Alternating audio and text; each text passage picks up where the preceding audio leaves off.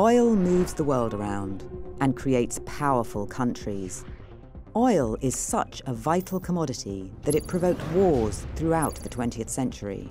The few countries that produce it try to keep control of it to ensure its riches stay at home.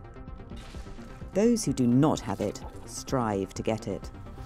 In the 1930s, Saudi Arabia was one of the poorest countries in the world. But the discovery of oil transformed it. And Saudi Arabia has amassed $515.6 billion in sovereign wealth funds. It has become the linchpin of a powerful cartel that sometimes rations oil to push up prices. The United States is now the biggest producer of oil and gas, owing to its shale revolution. It has tapped abundant reserves through fracking, a technology that uses high-pressure water and sand to fracture rock deep below the ground to extract hydrocarbons.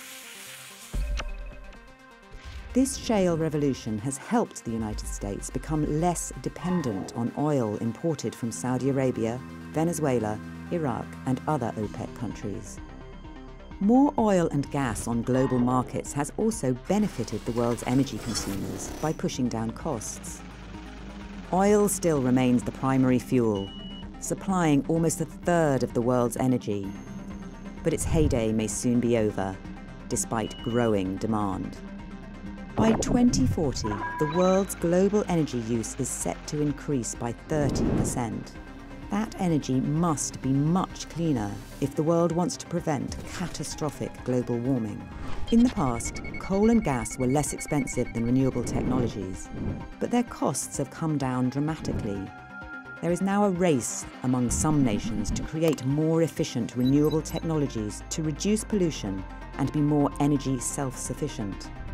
China is the world's largest consumer of coal and the second largest of oil but it also now leads the world in clean energy. One third of the world's new wind power and solar panels is installed in China, and it sells more electric cars than any other country. The quest for energy self-sufficiency is a big motivation for many countries. China is moving fast. And America, under President Donald Trump, is securing its energy independence with oil and gas. But unlike oil and gas, renewables will not increase global warming. The long-term transition to clean energy will throw up new global challenges. It will create tensions in unstable parts of the Middle East as oil revenue starts to dry up. Another challenge is that wind and sun are intermittent. Renewables may require vast shared electricity grids spanning borders to make them more efficient. To stop global warming, the world needs a huge collaboration over our shared energy future. If we fail, wars over scarce resources could be even worse in the 21st century than in the 20th.